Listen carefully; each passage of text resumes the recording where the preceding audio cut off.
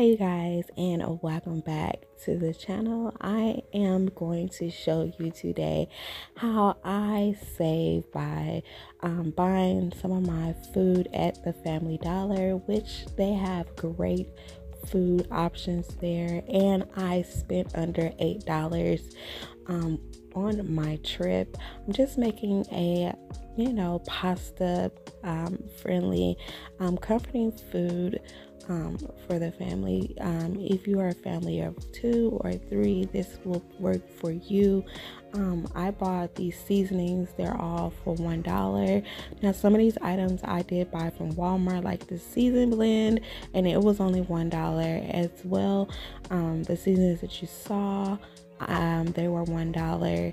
Um, so I did get this ground turkey from Walmart because I wasn't really into the Family Dollar meats and their meats just didn't look too well for me. So I just bought um, the Walmart brand meat, which was um, under five dollars.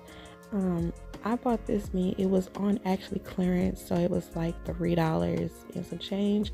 So you just place that that blending seasoning mix inside of your pot. Put your seasonings of choice in your pot.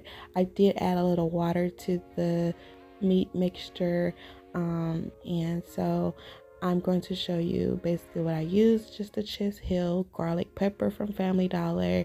I used the Chestnut Hill onion powder from Family Dollar.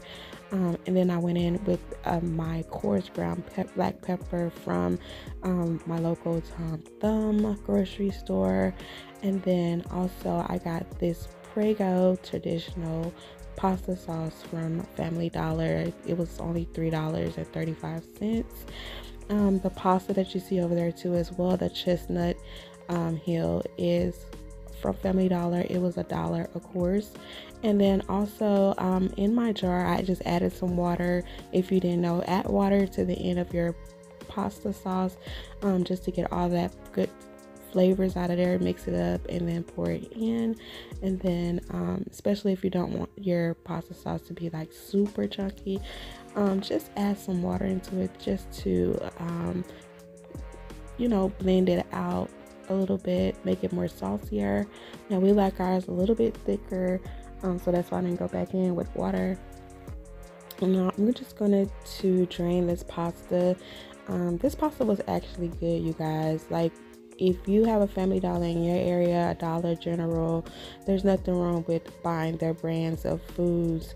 Um, I've been learning how, just like for two weeks now, how people are saving, just buying, you know, here and there type of foods from Family Dollar. Like I said, they do have um, dollar options and things like that that you can save. If you're on a cheap budget as I am. Um, so don't be afraid to go in there, stop in there, and look around and see what your options is for your family. Like I say, they have like ground turkey, ground beef in there.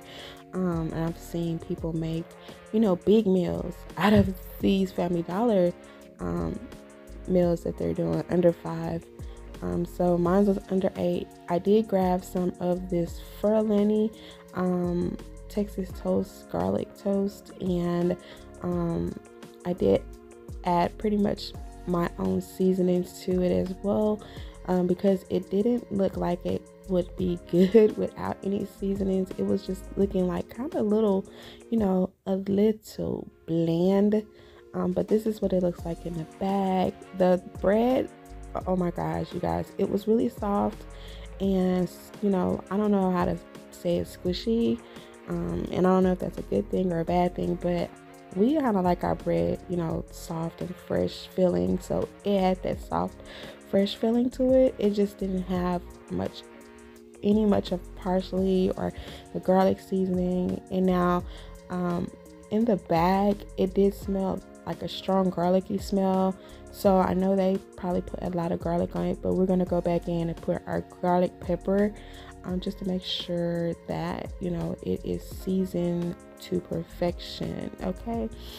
So um, in my pan, I didn't add anything if you like um, butter. Seen, but this is the outcome of the plate. Um, we got our garlic toast from Family Dollar. We got our pasta meal from Family Dollar. We got our Prego Parmesan that I'm going to top this off with. Um, and I got that like a week ago from Walmart, which the uh, price on that was like only two dollars but we're talking about family Dollar, so don't be afraid to stop by family dollar and purchase some you know budget friendly meals there. They do have a lot of food there wide selection. So yeah i hope you guys enjoyed this under eight dollar budget friendly meal